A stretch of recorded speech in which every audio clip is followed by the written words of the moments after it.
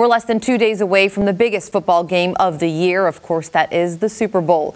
There's been a ton of hype on both the Kansas City Chiefs and San Francisco 49ers sides. How players say they're strictly sticking to business in Sin City in our top story at 10.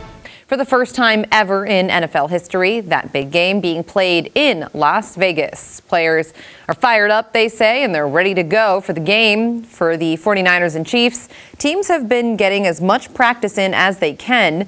The Niners have not won the Super Bowl since 1995, while the Chiefs won last year's big game. Both teams are hungry to lift that Lombardi trophy high again after the game.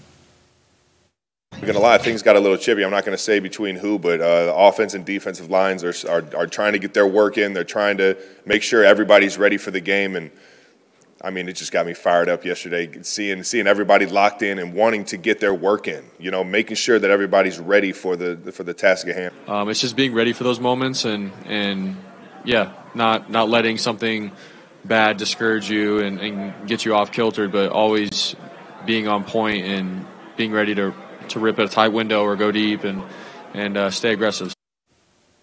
Football players and teams focused on that game and not the parties and nightlife of Las Vegas.